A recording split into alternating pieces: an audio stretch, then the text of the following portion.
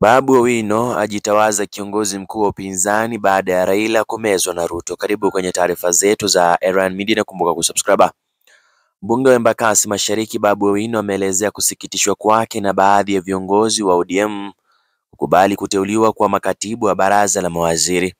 Anaamini kuwa Rais William Samoei Ruto aliwateua kimkakati kutoka mrengo wa upinzani ili kudhoofisha uangalizi wa serikali na kutoa sura ya utulivu kabla ya uchaguzi ujao.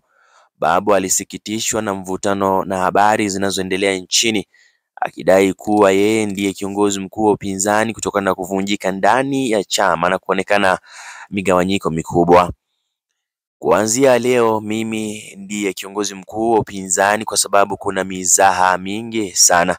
Kuna watu wengi wa upinzani ambao sasa wako kitandani na serikali.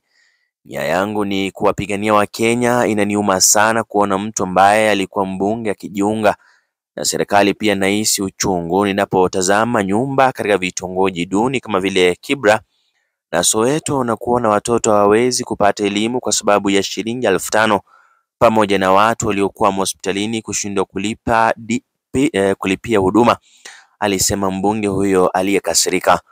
Mbunge huyo aliyezungumza wazi zaidi alimkosoa rais kwa madai ya kudharau Generation Z, Z samahani, wanawake na watu wenye ulemavu katika uteuzi wake wa baraza la mawaziri akitaja kuwa ubaguzi. Alishutumu serikali kwa kupuuza masuala yaliyoibuliwa na Gen Z wakati wa maandamano yao ya wiki tatu.